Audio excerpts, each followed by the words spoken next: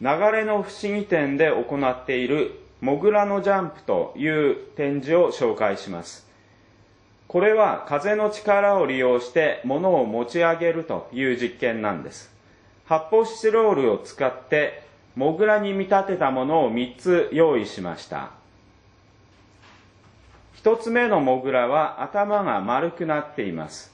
真ん中に穴が開いていて、縦に糸を張っています。釣り糸を張っていて、それに沿って上下に動くようになっています。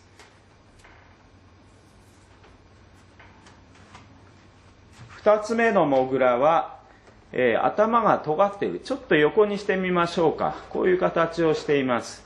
頭が尖って、下の方も尖っています。これも同じように上下に動くように支えられています。三つ目のモグラは四角いものです。頭も下の方も四角くなっています。これも同じように上下に動くようになっています。え問題はこれで風を吹かせるブロワーというもので風を当てるんですけどどこに当てるとモグラがうまく上に上がるのかということを試す実験です風を吹かせるのはこのブロワーというものを使って吹かせてみます。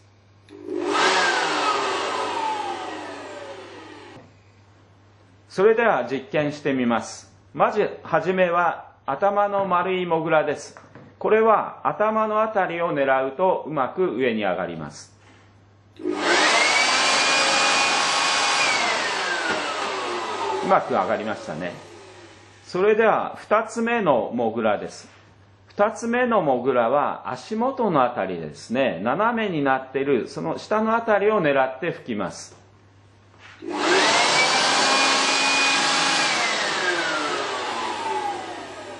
はいこのように上がりました。ちなみに2つ目を頭のあたりを狙って吹くとどうでしょうか？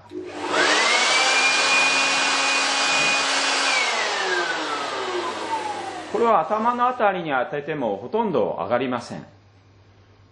では3つ目のモグラ四角い頭と下の方も四角いものです。これはですねどこに当ててもうまく上がらないんです。試してみましょう。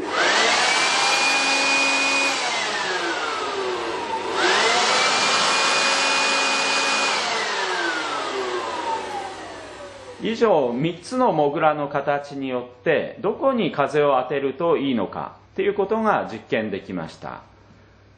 この原理について考えてみましょう。